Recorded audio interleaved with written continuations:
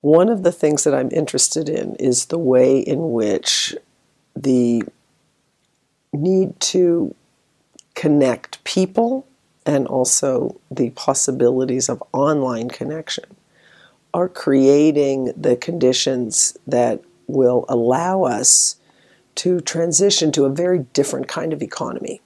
And I've spent decades working on alternative economies, if we want to call them that, or new, new forms of economy, believing that the economy that we have is increasingly inadequate for the times we live in. One of the ways in which um, we can move to something better is with more empowerment of young people because I think they do understand, sometimes in ways, better ways than adults understand, how the world is changing.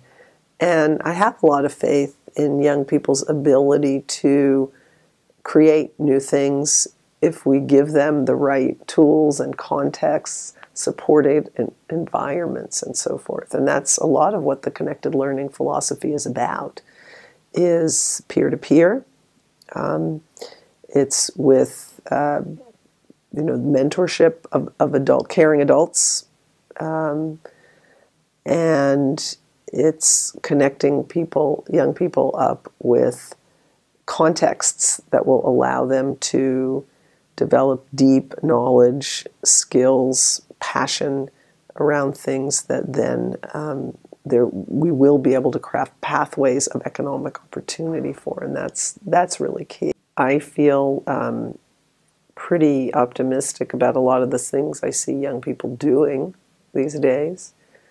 Um, I'm optimistic about their attitude, which is very pragmatic and solutions oriented. Um, the level of innovation that young people are involved with, I think, through the internet is mind boggling.